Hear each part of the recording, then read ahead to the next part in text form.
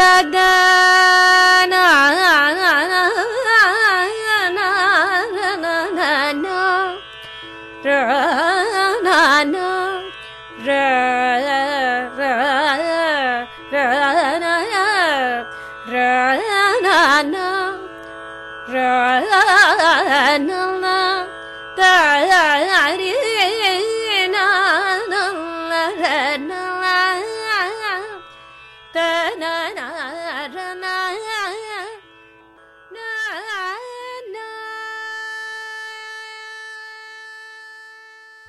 Welcome back to Raaga Rasika, a podcast program that explores the world of Carnatic music. We are joined once again by Vidya from Albany, New York. Just like any other performing art, Carnatic music, especially if you're planning to perform it, takes several years of learning and practice. As you advance in your skills, your guru or your teacher has a profound impact on you. And in Carnatic music, actually the guru has a very special and almost sacred place in your life.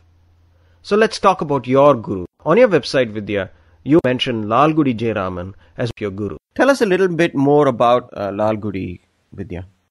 My guru, Padma Bhushan Lalgudi Sri G. Jayaraman, is one of India's most renowned classical musicians. I would rate him as a complete musician. He's not only an internationally acclaimed violinist, but he's also a vocalist, a composer whose compositions reflect a very unique style, and he's also an extraordinarily gifted teacher.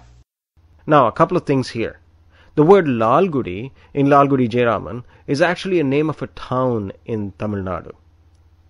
In general, I find this quite common amongst Carnatic musicians. You typically include the name of the town you're from in your name. Several examples come to my mind.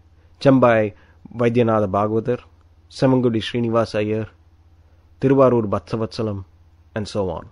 Yeah, it's common to associate the name with the name of the town. And I think it's not just restricted to musicians, but in the previous generations, particularly, the first initial of the name would be denoting the town that you come from. And the second initial would be your father's first name, followed by your given name. And then they have the caste or community name at the end after your given name. So that's the way the South Indian names, uh, especially in the state of Tamil Nadu, were uh, designated. And Lalgudi is certainly um, the name of his town, and it's near. Um, it's a small village near the city of Trichy in uh, the state of Tamil Nadu. Okay, so now Vidya, tell us how you got to know Lalgudi and how he became your guru. When I was 12, I had the privilege of learning under Lalgudi Jayaraman when a workshop was conducted by him where he trained about a dozen youngsters on different aspects of Carnatic music. It was a short term, four month workshop. That's how I got introduced to him. And I was just so fascinated by the depth and breadth of his knowledge that I really wanted to take advanced lessons from him. At that point, he was also a very busy performer, and our family friend Umayalpuram Shivaraman, who is a renowned Mridangam player, uh, introduced us to Lalgudi Jayaraman, and my lessons began under him in 1993. Till today, I'm honored and privileged to call him as my guru and teacher, uh, and I'm always indebted to him for everything that he has done. You know, Vidya, when I was researching on the internet for this segment, I was listening to several pieces of Lal Lalgudi. And there's something special in the way he plays his violin. It, uh, it's, it's difficult to describe it, but there's a certain elegance, a certain surreal nature to it. In a way, he kind of makes it appear as though his violin is actually singing, and you could almost hear the lyrics of the song. And I'm sure there's more to it.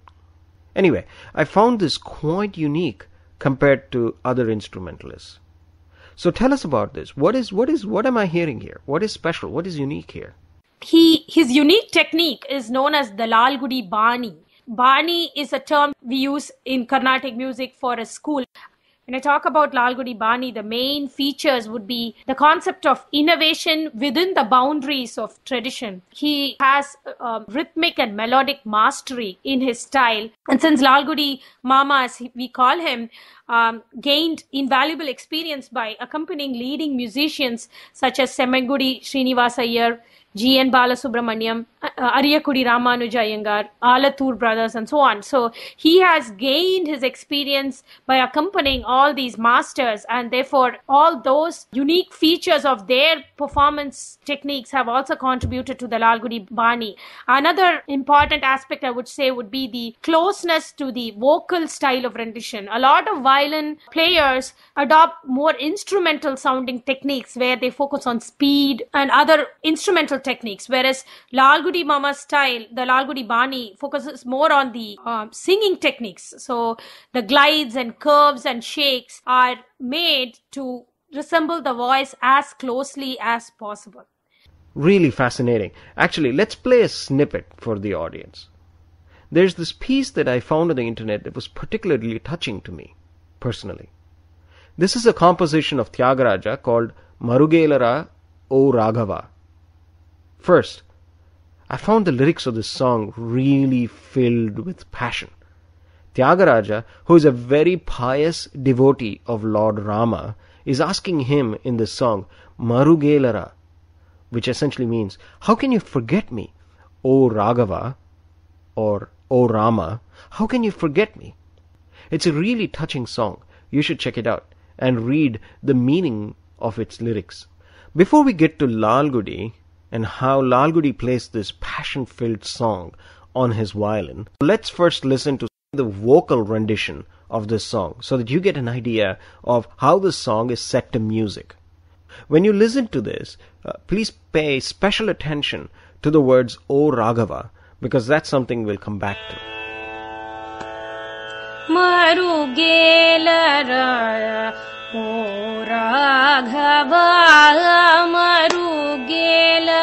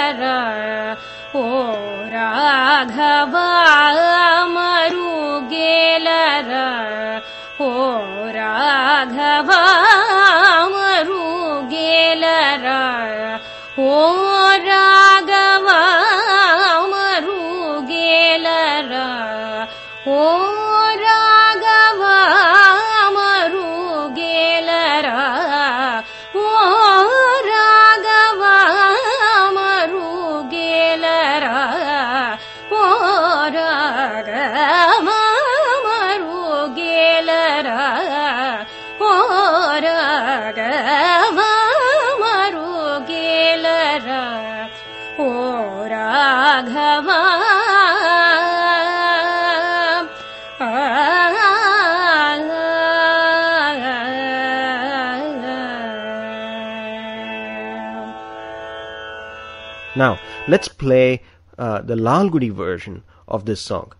Once again, uh, uh, listen to the Sangatis for O Raghava.